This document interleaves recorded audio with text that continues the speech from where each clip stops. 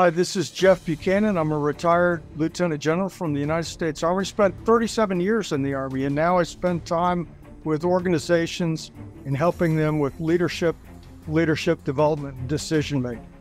Today on the show, we're going to talk about a number of things, but I'll give you three quick highlights. The first is decisions. We, you know, leaders need to have the courage to make tough decisions, but also the wisdom to know when to make those decisions. And sometimes in a crisis, the best timing is actually to not make a decision that you would regret later on. The second is I, am going to talk a little bit about performing as if in the eye of a storm. How does a leader stay calm and make tough decisions when everything around you is turning into chaos? And I'll give examples from my experience in Iraq, Afghanistan, and in supporting FEMA through five major hurricanes. And the last topic is really about shared understanding. I believe that shared understanding is critical for leaders to have when it comes to execution. But frequently, when we think about it, we think about the importance of top down shared understanding of how things that come from the leader are supposed to get all the way down to the lowest level. And I'll make an argument and tell some stories about how important it is for the leader to get out away from that headquarters and down to the lowest levels where you can really understand the challenges that are happening where the rubber meets the road. I look forward to it and I hope you'll join us today. Welcome back to part two of our delicious conversation with Lieutenant General Jeffrey Buchanan, retired after 37 years in the Army, and he has commanded U.S. and foreign troops through five years tours in Iraq and Afghanistan. He's led military forces in support of FEMA, um, he was in five major hurricanes, including Hurricane Maria. And we've been talking about making decisions in crisis. I mean, when you really think about it, you know, I don't know that we learn very much when we're not in crisis. Uh, I think we don't learn, we're very poor at learning during success. We just fall back on our laurels and go, oh, you know, obviously I did it right.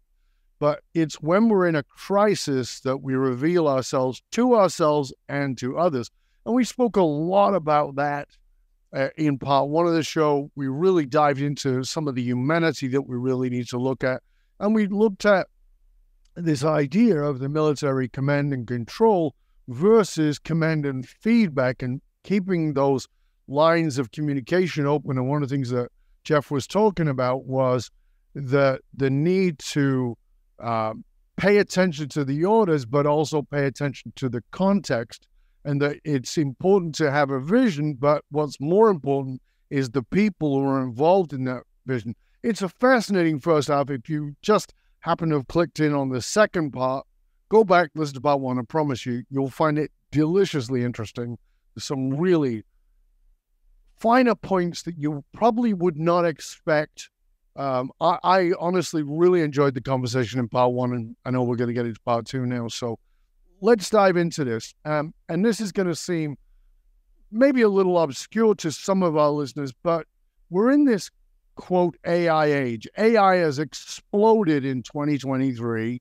It's come out everywhere. We think of Chat GPT, but it's much bigger than that. And in fairness, AI has been around for a lot, lot longer than that. And it's been around in many different ways and forms. It's just more ubiquitous in the context of people having accessibility to it. But one of the things that people don't know, Boston Dynamics have been developing robots for a very long time. And now there's a real talk of this futuristic idea that's not being so futuristic anymore, which is robot soldiers.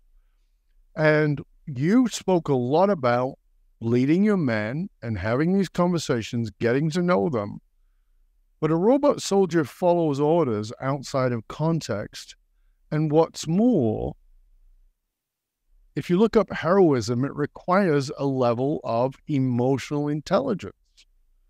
And AI doesn't have emotional intelligence. So, can a robot soldier have emotional? Uh, can it be heroic if it has no emotional intelligence?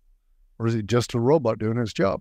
I want to ask a general with 37 years experience dealing with quote grunts, soldiers, people, real people who are just doing what they're supposed to do.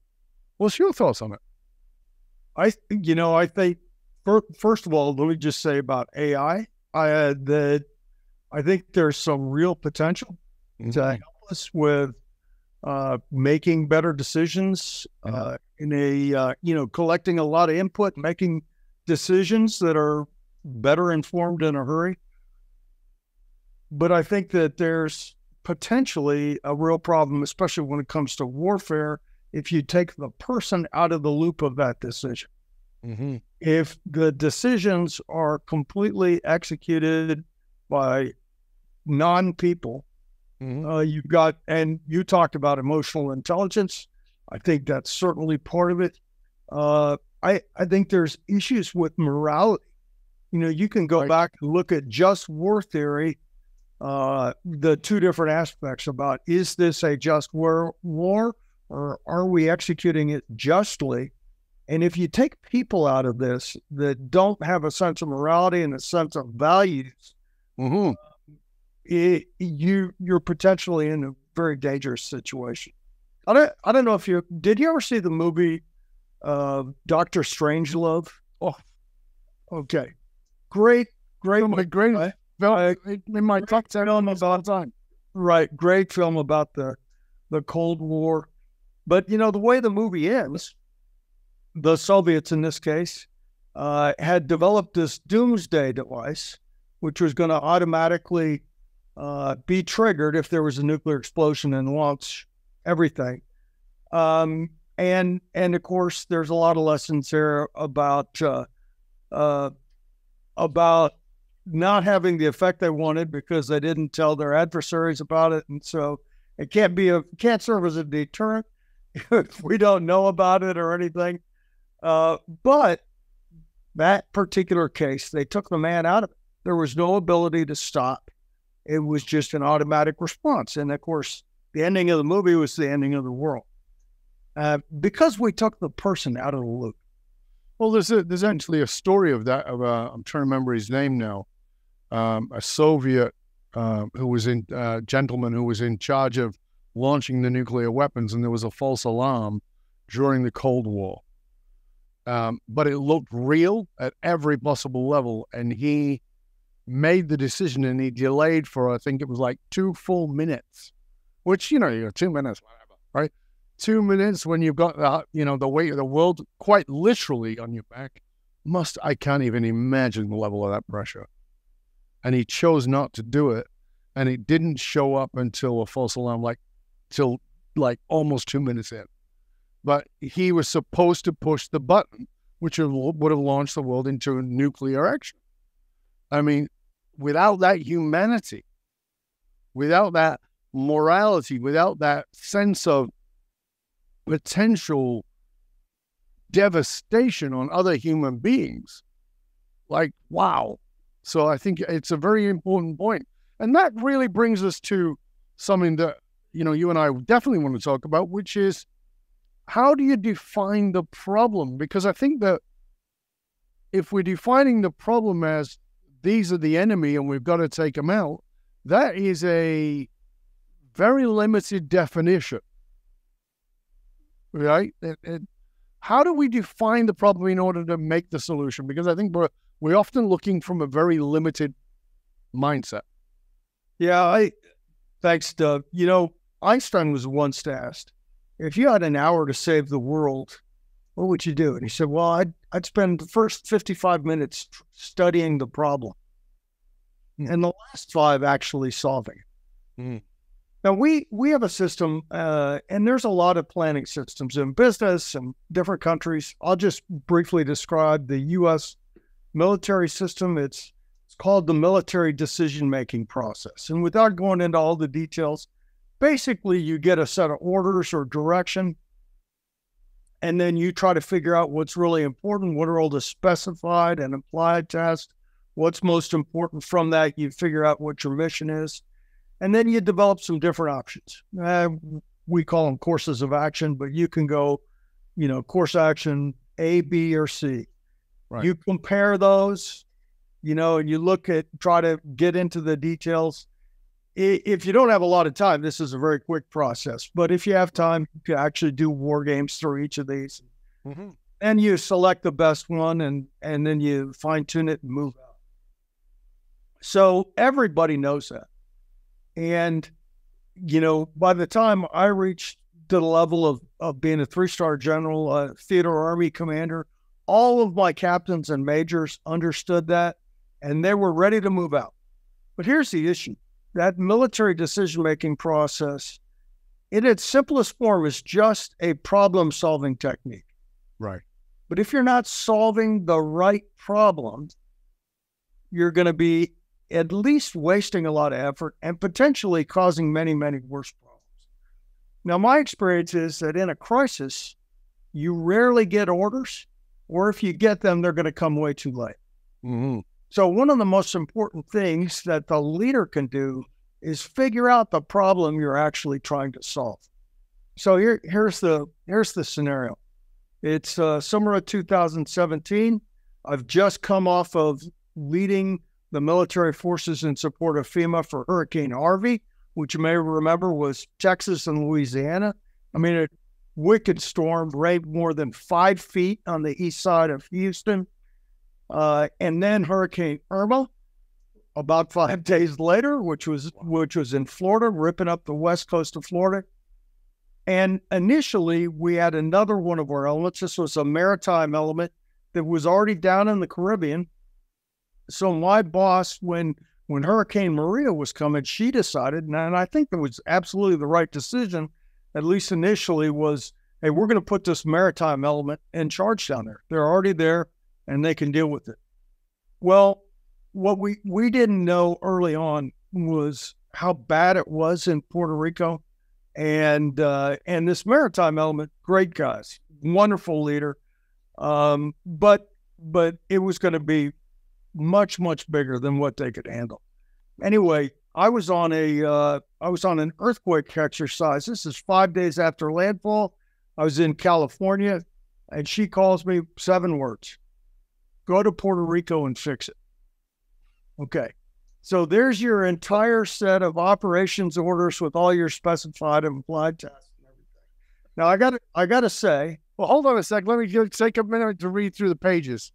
that's right. So I gotta I gotta tell you. So I really appreciated her confidence, which was great. Yeah. But I spent for the entire time first flying back to Texas, picking up a bag and seven guys, which is all I could take initially, and then onward to Puerto Rico, and, and all the airports were shut to civilian traffic. You know, so I had to work in, get a military flight down. Um, I spent that whole time trying to sort through what was what was it I was actually trying to fix. What was the core problem? And you know, without without going into tremendous detail, here here's what what we, this group of seven folks, came to. First of all, you know, I just left both Texas and Florida, two of our richest states. Puerto Rico was $74 billion in debt before the storm hit. Right.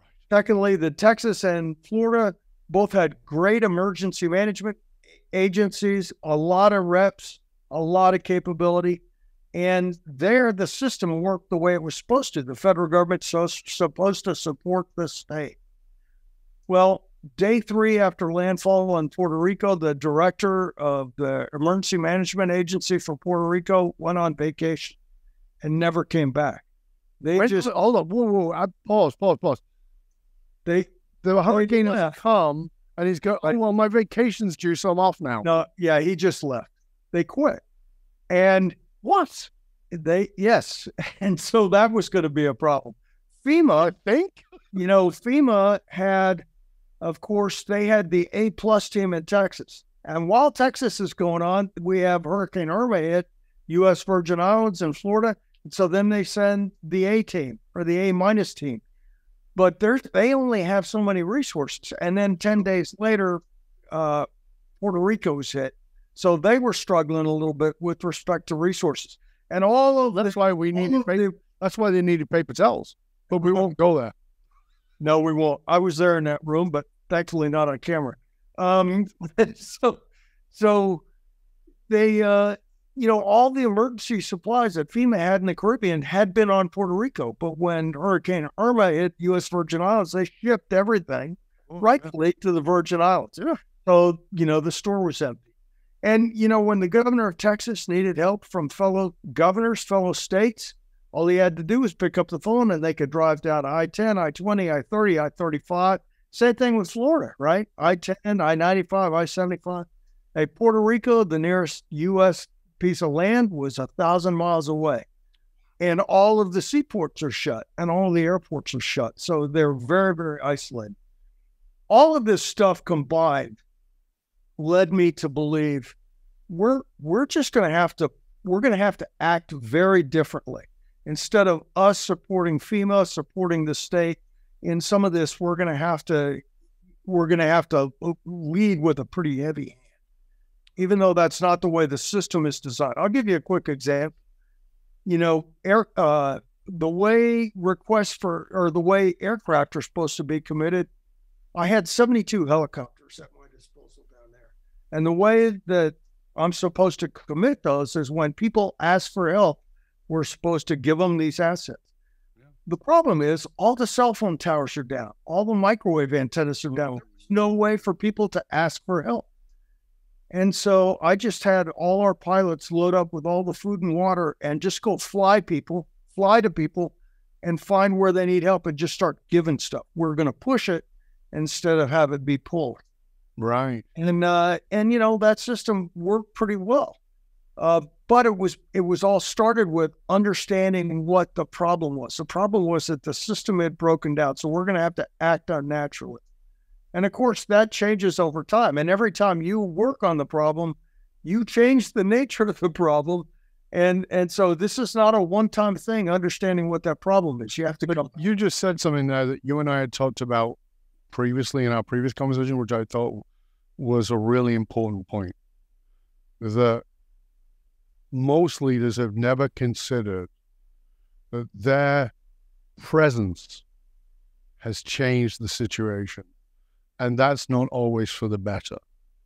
That their very presence, even though their intention might be incredibly good, their presence has now added another dynamic talk to us a little bit about that, Jeff, because I know that's just that's a deep area for you, and I know that you understand that probably better than anybody I've ever spoken to, uh, from that military position of like, you're here. Did it get better or worse? Yeah. So again, the nature of the problem changes over time, and your actions cha- help change the nature of the problem. Right. So what we're doing early in a hurricane response is all about saving lives. You know, we're gonna we're gonna uh, do what we can to provide emergency medical treatment or fly somebody out if they need help, or in the case I just exa- example I just gave, pass out bottles of water. You know, we passed out more than one or 46 million liters of water. Okay, over this period of several weeks. I mean, and it was, I mean, we were putting pallets of these things on helicopters and flying them into the jungle. And, and we were pushing all this. And it was great. And it was really important during that life saving phase. But over time, uh, as we started getting water systems back and everything, people really loved these free bottles of water, right? And it was it was really good stuff, and we had a lot we could keep giving them. But at the same time, we're trying to help the economy get back under its feet and help re- help transition from this emergency response into a recovery. So free bottled water sounds really good, unless you own a grocery store in Mayagüez, Puerto Rico. And part of how you make your money is to sell oh. water because you can't compete with free. So now we, the government, are actually getting our actions, although meant for the right thing and for the right reason, over time, they're actually hindering recovery. We're getting in the way of helping a return to normalcy. So, but if, but if you if you focus on that, you understand it. You relook at this. What's this core problem? What are we facing right now? We we had the same thing, you know, with our hospital ship in the port of San Juan. They passed out more than five thousand pairs, made five thousand pairs of eyeglasses. It was great training for our optometrists. People were happy. They got free eyeglasses you know and again it sounds wonderful unless you're an optometrist you know you can't compete with free and so we've got to be really careful with how we do this sometimes our good intentions can can actually get in the way of helping things get better. So I want you to understand that I'm going to ask you a question here. There's nothing gotcha about it. So to, to be clear, that's not my intention. But it is an important question.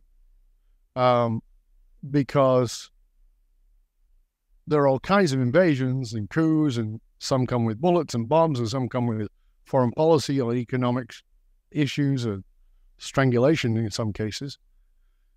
The U.S. has military, eight, I think it's more than 800 military bases across the planet. And rightly or wrongly, the U.S. had become the police force for the for the world. It became what Rome was, an international police force. And I believe, and it's my maybe it's my illusion, I believe that most of the people involved in that are trying to do something better, trying to make the situation better. But in many cases, it is exactly what you just said. The, you know, and of course, we can take a look at Iraq or, uh, or Afghanistan or wherever it is, particularly leaving Afghanistan after going in, and go, did we make it better? Did we actually make it better? You know, you look at uh, uh, uh, Libya.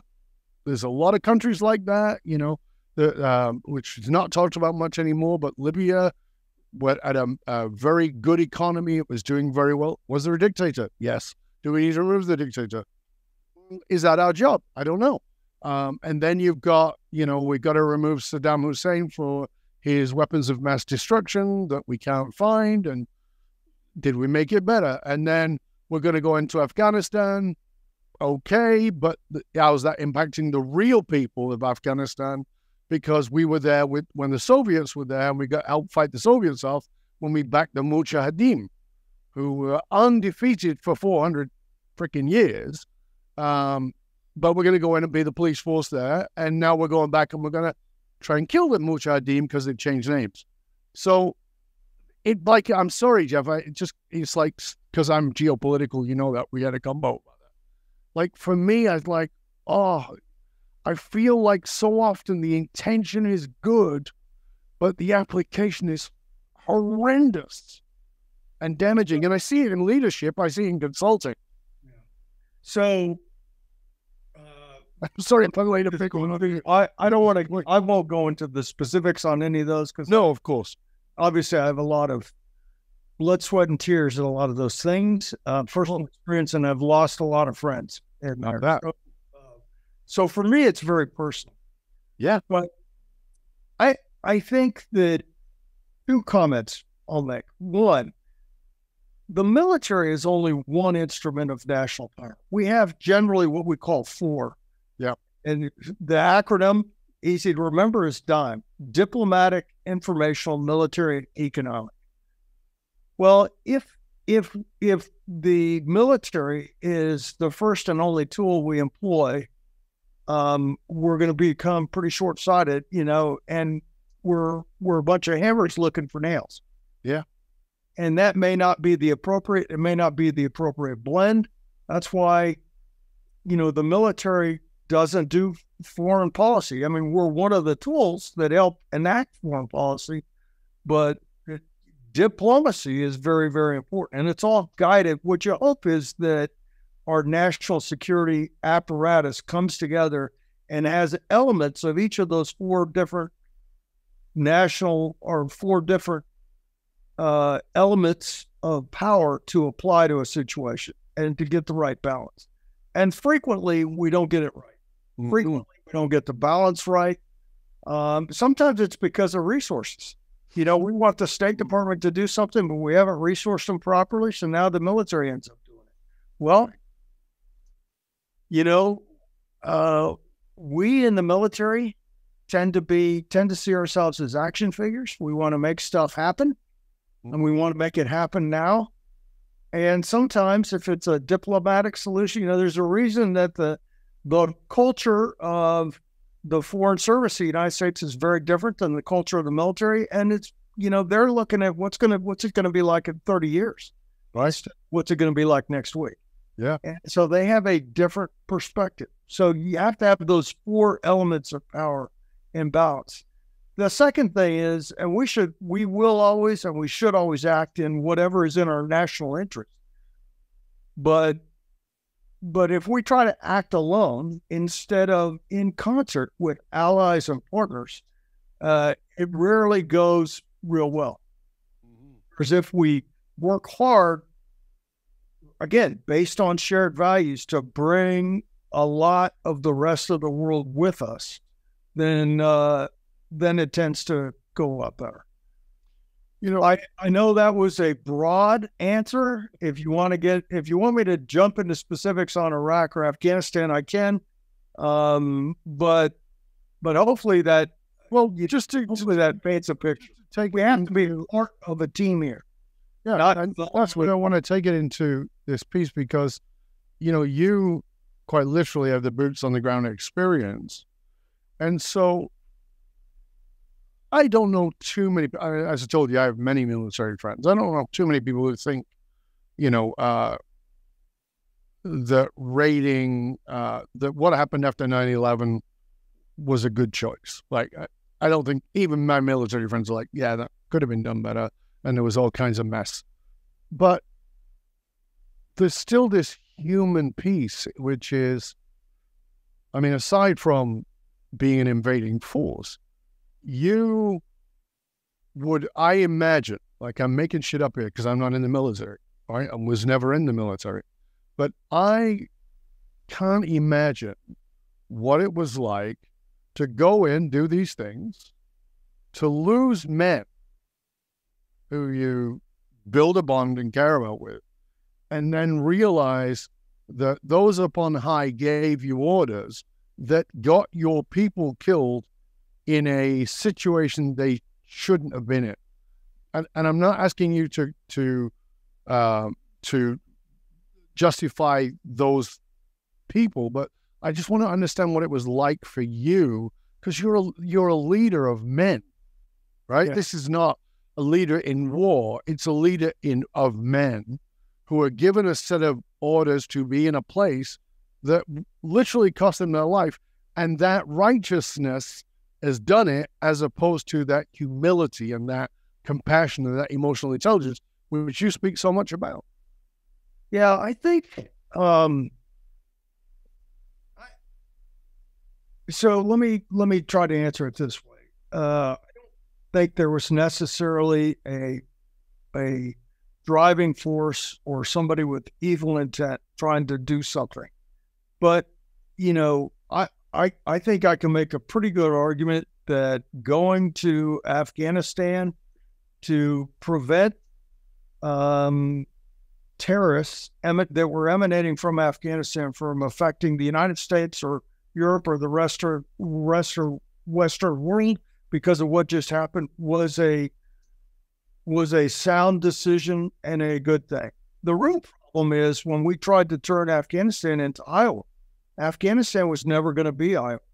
It didn't have it didn't have democratic values. It didn't, you know, it just it would. so it was the initial focus. And in fact, if you look at what we did over a 20 year deployment, we were pretty good at keeping terrorism from impacting the United States that was coming out of Afghanistan. We actually solved that. But the real issue was we we tried to help create uh, for all the right reasons. It was not because we were trying to get rich off of their oil. They don't have any oil or whatever. It was it was for the right reasons that we were trying to help create a system of government that was for the people and serve the people and would not be violent to its neighbors and all these kinds of things. But, but, you know, I think the issue is changing mission and and not focused on not just staying limited limited focused on that initial task. And that's especially when I got into that those four different elements of national power. Well, the military can do pretty good at that first one. We're not very good at creating democracy. you know, this is it requires everything, and and so, you know, I won't. How do you, how do I you, won't belabor it. I know we're here to talk about. I, I want to know how because this is personal. So how does that? Because I'm actually interested in in the impact on you as a human? Because you've talked a lot about this. Because, you know, one of the things that you and I both know is that to be a great leader, you got to know yourself, know thyself, right? Yeah. And so I'm interested in the impact on you at a personal level of the, the, the grief, the PTSD, whatever term one wants to use, at, at losing people, losing, you know, the, these lives have gone. Um, yeah, so I'm wearing a uh, I'm wearing a bracelet here um, that uh, was given to me by the wife of one of my soldiers who was killed in Afghanistan, and um, the the two of us were together through three different tours in Iraq, and he was killed on his second tour in Afghanistan, and uh, I think of him every day. And that's part of why I wear this bracelet. You know, like I said, his his wife gave me this. I'm actually that's technically not correct because she gave me one that was two times ago. The bracelet is worn worn down and it turns just silver. You can't read it anymore, and I order a new one. Mm. Um, but uh, to me, it you know the cost of going to war and losing our our young men and women is uh, it, it's a it's a very very steep price to pay. Um, and I'm not the kind of person who will say that I'm not a pacifist, you know, but but I'm certainly not a warmonger. If you know what I mean, uh, because I've I've seen it, I've lived it, I've I've had that kind of loss. I do. There is something that that I think is applicable to business leader, and this isn't about this isn't about combat, but you're going to have your employees are going to experience loss, and sometimes you may not. And I think, you know, one thing that I learned, especially, I might have three guys killed in a platoon in an ambush, uh, and I didn't know them personally was the most important thing I could do is go there to that platoon because they're suffering at this point in time. And I learned, you know, that I needed to be there for them. Now they it's uncomfortable to do that. And because you don't know what to say. And frankly, there is nothing you can say. But you can other than I don't know what to say, but I but I'm here for you. I want to be here for you that communicates leadership and you will have a deeper sense of the cost of some of these decisions. Well, the the reason I said business leaders doesn't have to be guys getting killed in an ambush. It could be, you know, one of your employees, you know, just lost her mother to cancer or just got divorced or whatever. Yeah. You know, I I I had a uh, I had a good friend. She's still a good friend. She's what we call a gold star mother. Yep. Her, her son, she lost her son. Her son was in the army and she lost her son. And she was an avid runner. And her best friend was her running partner. But once she lost her friend, her best friend avoided her because she didn't, she was uncomfortable, didn't know what to say. And actually, avoiding somebody when they're going through these kinds of things is the worst thing you could do. You, you, you know, you got to get over yourself, get over your lack of comfort, and go there and be there for them. And you know, just just be there for them and help them heal. Um, so, uh, I, you know, I I am certainly not a perfect person. Um, I uh, I miss the uh, the troops I've lost. I think about them. Um, I, uh, you know, but it's, I also have a responsibility that um, when I get ordered to do something that is not and built on the right foundation of values, it's my order to, it's, uh, you know, I'm not, we are not supposed to blindly follow orders. You know, this was the defense in the Nuremberg trials. The guys are saying, well, I was following orders. Well, you're responsible to do the right thing as an individual. Mm-hmm. So I, you know, I had this. I was leading all the troops. You may remember in 2018 we had uh, we deployed. It's about 6,000 soldiers and Marines to the southwest border. We had the situation where, at least through the media, we're going to have these massive, what they call caravans, or people mm-hmm. coming up through Mexico, not really originating there, originating mostly in Guatemala or some places like that. Right. And and you know, the narrative coming out of Washington D.C. was we're going to have soldiers on the border with machine guns. But that's not. I mean, you know, the implication is we're going to shoot people if they're trying to come across the border. That's not what we were there to do. We were there on a legitimate mission to support the Border Patrol and the Customs Service because they needed help. They needed help with obstacles. They needed help with uh, medevac, you know, moving their troops around with helicopters, with some communication, all kinds of things. And so we were there and we were even helping observe things, but we weren't there to do law enforcement tasks, no. you know, very specifically. So, um, you know, I countered that. Uh, I countered that narrative in a very public way. Good. And, uh, you know, uh, I had some painful moments because of that, but that was okay. I'm sure the right thing to do.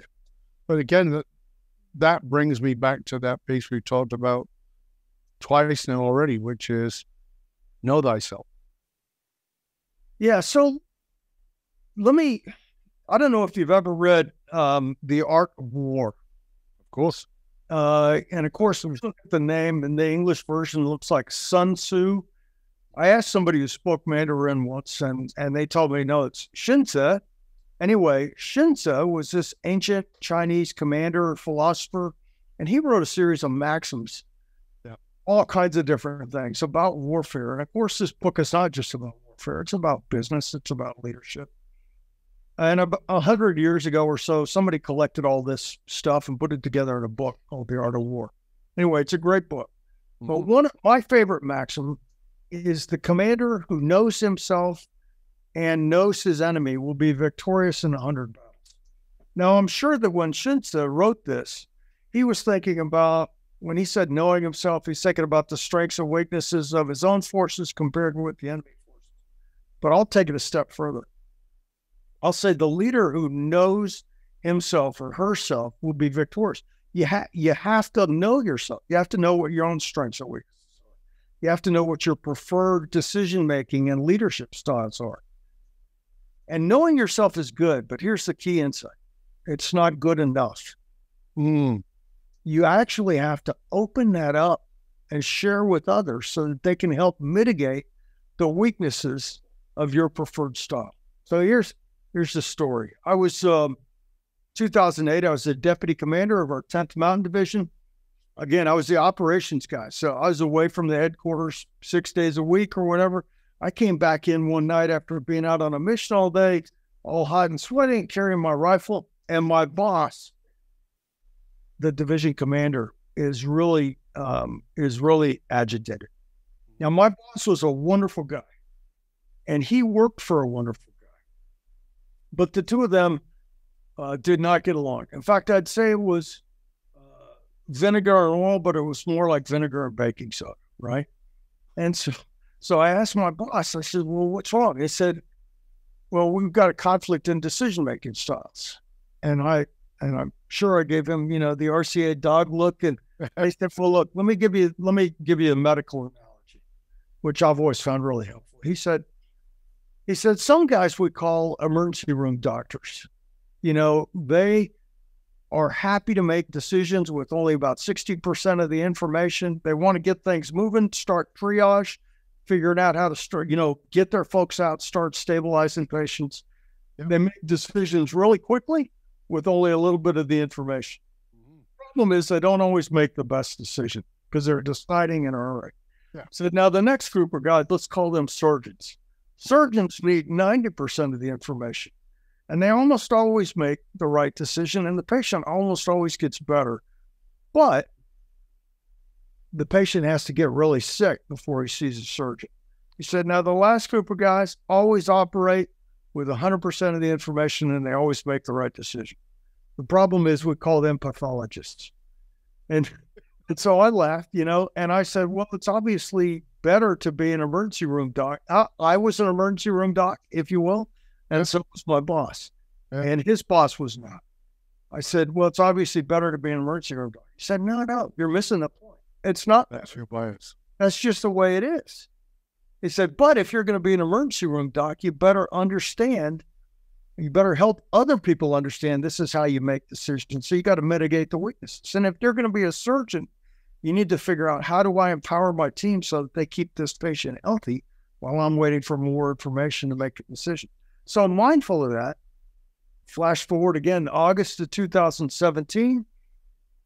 I'm the new commander of this task force that's coming together to help Texas with Hurricane Harvey. And, you know, my troops, Army, in this Army headquarters, they knew me and they knew what I was like. But I've got soldiers, sailor, sailors, airmen, and Marines from all over the United States. These people don't know me at all and, and don't have a clue. So I got them all together and I told them that story. And I said, I'm an emergency room doc. If you bring something to me that even hints like you want a decision, I'm going to make a decision. So if you don't want me to make a decision, you need to start out with, Sir, please don't make a decision on this. This is just for information. And likewise, sometimes I'm going to decide to go left, and three days later, we're going to figure out, man, we really should have got right. Mm-hmm. And and when that happens, you have a responsibility, not just a right, but a responsibility to come back and tell me to turn right now. Because I don't always, because I decide things in such a hurry, I don't always make the best decision. And I don't want us to walk off a cliff holding hands. I want to do the right thing for the organization. So what I was trying to do was empower them to mitigate the weaknesses of my preferred style. And so it's it really critical to know yourself. And you can know yourself. I mean, that's an example. There's also, you know, Myers Briggs, the Enneagram is a great tool. There's all different kinds of tools you can use, man. Better understand yourself. But especially if you're building a team in a crisis, you got to open up to other people and say, look, here's how I am. Here's how I'm wired. And and part of that is so that they better understand you and they know that, hey, if if you give this guy a matrix on a PowerPoint chart, he's going to flip out or whatever. Part of it is that, but part of it is also to enable them to mitigate the weaknesses of your style. What Really important in a crisis. What a brilliant place for us to finish. Super. I love that analogy. It's very powerful.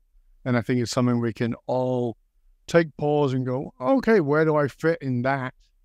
Uh, uh, and am I allowing myself to actually be any of the three? Because if you're afraid of decisions, you're not going to make any of them. And that's, and if you're going to lead, you have to make decisions. Jeff, this has been a absolute pleasure and an honor, sir. Thank you so much. We really appreciate you being with us. I hope you'll stay with us to the end.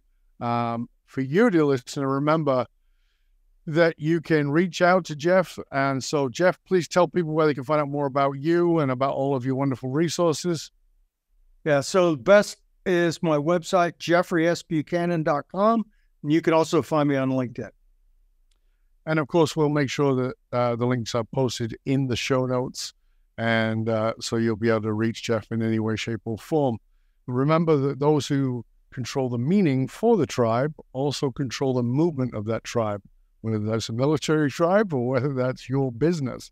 When business and political leaders are committed, who are committed to positively shaping the landscape, know that they must tap into what drives human behavior. And you can do that through tapping into and understanding how to apply the anatomy of meaning extracted from the emotional source code of your people and your organization. I'm Dov Baron. I show businesses, teams, and leaders how to harness their emotional source code to move their tribe because actualized, unified meaning is the single monolithic difference between mediocrity and greatness for all individuals and companies. I want to thank you for sharing this show with everyone you know. Till next time, stay curious, my friend. Stay curious about how you're making decisions. Are you making decisions in chaos that don't belong in a chaotic situation? Or are you making situations in chaos that are befitting of the chaos? And are you ready to pivot and change? There's a lot to learn in this podcast. If you didn't catch the whole thing, go back. I promise you, there are some very key strategic insights for you around decision making in any chaotic situation, in any chaos. I'm Dov Baron, and I'm here to assist you tapping into your deepest meaning reach that next level of clarity, focus, purpose, and profit in your business, in your life, and in your leadership impact. And I am out.